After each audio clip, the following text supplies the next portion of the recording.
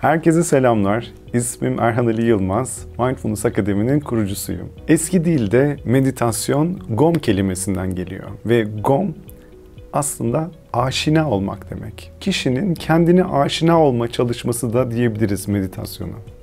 Peki kişinin kendine aşina olması yani tanıması bize nasıl bir fayda sağlıyor? Öncelikle kendimizle içimizde yaptığımız kavgaları, gürültüleri kendimizi tanıdığımızda çok daha az yapmaya başlıyoruz. Yani bir öz şefkat temelini meditasyonla kazanıyoruz. Aynı zamanda kendini tanımak, bedenini tanımak demek. Bedenini tanımaksa kişinin bazen duygusal yeme gibi çıktılarını, bazen öfke kontrolü gibi yöntemleri çok daha iyi yapabilmesi için başka bir temel veriyor bize.